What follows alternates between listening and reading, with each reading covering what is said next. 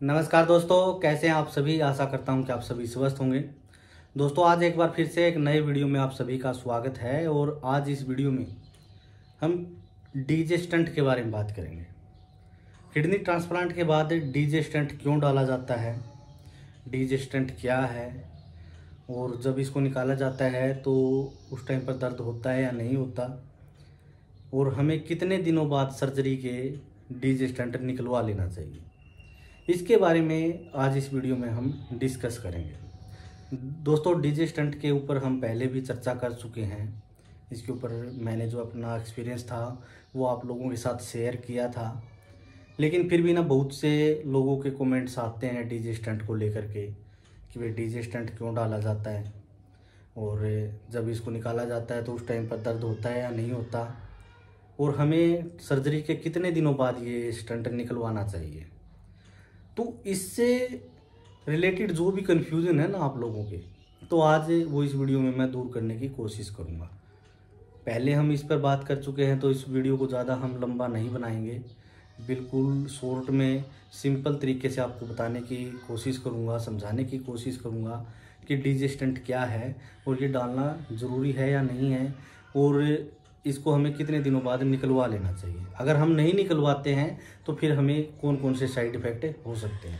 दोस्तों, जो DJ stent है, वो एक ट्यूब की तरह से बना हुआ एक प्लास्टिक मटेरियल है, जिसके दोनों सिरे ना जे आकार में मुड़े हुए होते हैं। तो इसको डॉक्टर जे जे स्टेंट के नाम से भी बोलते हैं।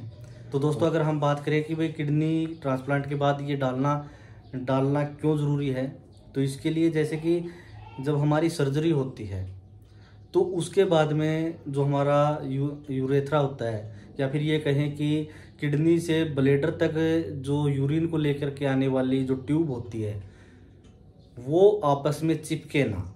एक तो कारण ये होता है डालने का। दूसरा कारण होता है कि जो ब्लेडर होता है हमारा यूरेथ्रा को जहाँ पर ज्वाइंट किया जाता है ब्लेडर के अंदर, वो वहाँ पर टाँके लगाए जाते हैं। और उन टाँकों के अंदर यूरिन का रिसाव ना हो। इसलिए ये जो स्टंट है वो डाला जाता है। 95 परसेंट जो पेशेंट होते हैं, उनको डीजे स्टंट डाला जाता है सर्जरी के बाद।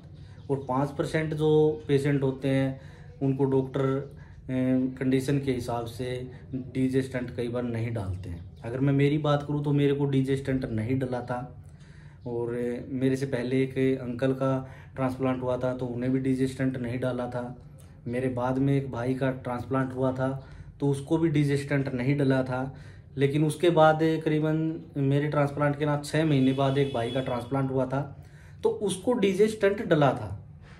तो ये तो डॉक्टर रेसिपेंट की या फिर पेशेंट की सिचुएशन कैसी है, उनका जो यूरेथ्रा है, उसकी कंडीशन कैसी है, उसके हिसाब से डिजेस्टेंट डालते हैं। और दोस्तों, जिस भाई का मैं ज़िक्र कर रहा हूँ कि मेरे से छः महीने बाद जिसका ट्रांसप्लांट हुआ था, उनको डिजेस्टेंट डला था तो उनकी जो डिस्चार्ज समरी थी, उसके अंदर डॉक्टर ने ऐड कर रखा था कि भाई आपको डिजेस्टेंट डला है और 21 दिन बाद ये रिमूव किया जाएगा। आपको आकर के इसको रिमूव करवाना है। तो उन्होंने अपनी डिस्चार्ज समरी को पढ़ा ही नहीं और डॉक्टर शायद उन्हें बताना भूल गए या फिर डॉक्टर ने बताया था तो उनके माइंड में वो बातें आई ही नहीं। और करीबन डेढ़ साल तक वो जो स्टंट था किडनी के अंदर एज इट इज़ पड़ा रहा। उसके बाद में उनको यूरिन के अंदर इन्फेक्शन हो गया। यूरिन करते टाइम उनको पेन होता था। यूरिन में कई बार ब्लड भी आया उनको। तो वह जब फॉलोअप के लिए डॉक्टर के पास गए तो उन्होंने ना इसके बारे में उन डॉक्टर से डिस्कस की। तो डॉक्टर ने उनका जो है एक्सरे करवा करके देखा। तो एक्सरे में जो स्टंट था वो डायरेक्ट दिख रहा था। तो डॉक्टर ने कहा कि आपके ना अभी तक स्टंट निकाला नहीं गया है, आपने स्टंट क्यों नहीं निकलवाया? तो उस पेशेंट ने कहा कि मेरे को तो मालूम ही नहीं था, किसी ने मेरे को बताया ही नहीं कि भाई मेरे को स्टंट डला है। तो भाई उसके बाद में एक छोटी सी सर्जरी के द्वारा उसका जो है स्टंट निकाला गया। तो थोड़ा सा पेनफुल प्रोसेस ये रहा। वैसे लोकल अनिस्थिया के द्वारा भी जो है स्टंट निकाल देते हैं डॉक्टर, लेकिन उनका जो स्टंट निकालने में थोड़ा सा टाइम लगा।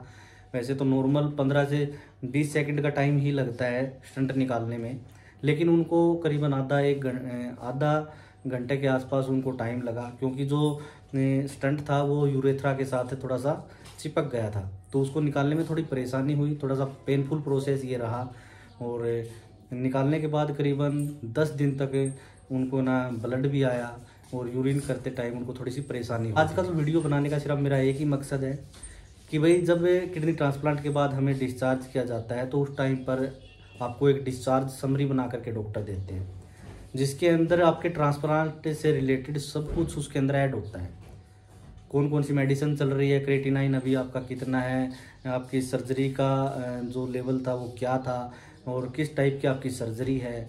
और किडनी फ़ंक्शन अच्छे से कर रही है या नहीं कर रही? डीजे स्टंट डला है या नहीं डला? वो सब कुछ उसके अंदर ऐड होता है।